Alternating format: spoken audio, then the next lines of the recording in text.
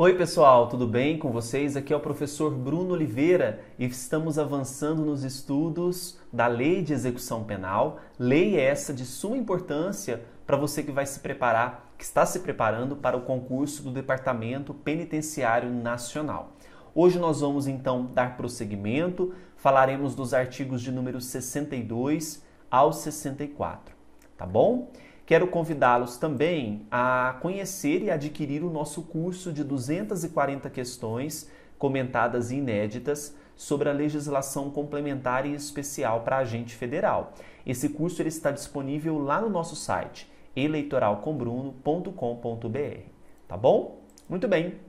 Sobre o Conselho Nacional, a primeira observação que nós temos é que esse Conselho Nacional de Política Criminal e penitenciária, ele vai ter sede na capital da República, portanto Brasília, e vai ser subordinado ao então Ministério de Justiça e Segurança Pública.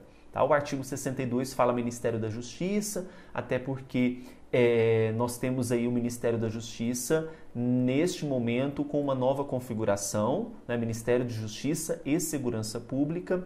Então, esse Conselho Nacional de Política Criminal e Penitenciária vai ter sede em Brasília e subordinado ao Ministério de Justiça e Segurança Pública. Tá? Quanto à composição desse conselho, ele vai ser formado por 13 membros, 13 membros que são designados através de ato do Ministério da Justiça, dentre professores e também profissionais da área do direito penal, processual penal, penitenciário e ciências correlatas, bem como também representantes da comunidade e dos ministérios da área social. Tá bom? Então, 13 membros, não se escolha, não se esqueçam. Quais são então a, as competências desse conselho? A gente vai ver. Esse mandato desses membros que vão compor esse conselho será de dois anos, renovado um terço desses membros a cada ano. Tá? Então, em cada ano há uma renovação em um terço. O mandato vai ter duração de dois anos. Tá bom? Dentre as competências que nós podemos colocar ao Conselho Nacional de Política Criminal e Penitenciária, o artigo 64 diz: propor diretrizes de política criminal quanto à prevenção do delito, administração da justiça criminal, execução de penas e medidas de segurança, contribuir na elaboração de planos nacionais de desenvolvimento, sugerindo metas, prioridades de política criminal e penitenciária, uma vez que é formada por professores, membros de comunidade, tem um conhecimento mais aproximado das, daquilo que é necessário. É?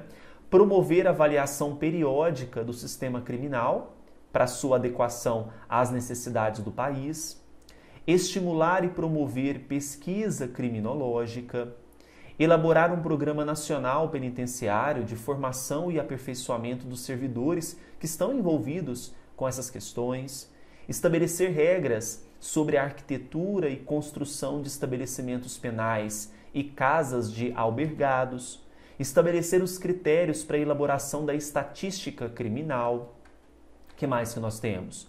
inspecionar e fiscalizar os estabelecimentos penais, bem assim informar-se por relatórios do Conselho Penitenciário, requisições, visitas ou outros meios acerca do desenvolvimento da execução penal nos estados, territórios do Distrito Federal, propondo às autoridades dela incumbida as medidas necessárias ao seu aprimoramento representar ao juiz da execução ou autoridade administrativa para instauração de sindicância ou procedimento administrativo em caso de violação. Que mais? Representar a autoridade competente para interdição no todo ou em parte de estabelecimento penal. Então, muita atenção a esse Conselho Nacional, principalmente em relação a quantos membros são, que são 13, né? quanto à duração do mandato, que são dois anos, e a renovação a cada ano de um terço desses membros. Tá bom? A gente então fica por aqui. Até o próximo vídeo com a lei de execução penal. Tchau, tchau. Agora, pessoal, se você gostou do vídeo, dê o seu like, se inscreva no canal e clique no sininho para receber todas as novas publicações. Além disso, no nosso canal do YouTube nós temos várias playlists com leis comentadas, questões comentadas, feitas com muito carinho para você. Siga também o professor Bruno Eleitoral no Instagram. Basta você digitar aí arroba professor Bruno Eleitoral. E no Facebook, www.facebook.com barra cursos Bruno Oliveira. Um grande abraço e até mais.